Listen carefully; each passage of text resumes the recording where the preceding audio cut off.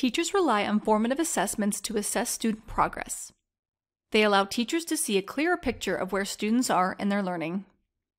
Teachers can use that data to drive instruction to meet students where they are.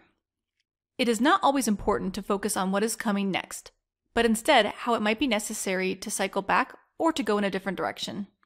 Imagine you just introduced a new concept and you want to see how well your students are doing with key vocabulary words. With Response, you can build a formative assessment and track which students understand the concepts and which ones still need assistance. In this video, we are going to show you how to use Response to build a formative assessment. To begin, you will notice you have a number of options for the type of formative assessment. For this example, I'm going to put together a multiple choice assessment. I'm going to add images in the question, and students have to choose the word that best describes the image. These are images I saved on my desktop.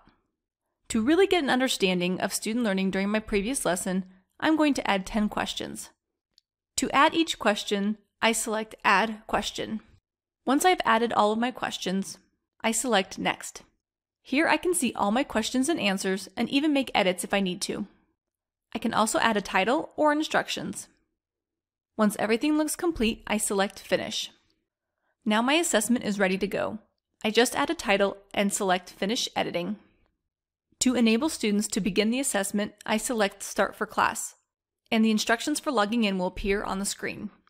Once all my students are logged in, they can begin taking the assessment. Now, as the instructor, I can see how my students are doing. Once all of them have completed the assessment, I can end the activity and review the data. I can see how my students answered each question and can look at patterns to adjust my upcoming lesson. I can even export my results as an Excel spreadsheet. By adding a formative assessment, I'm able to review student progress and personalize instruction based on each student's needs.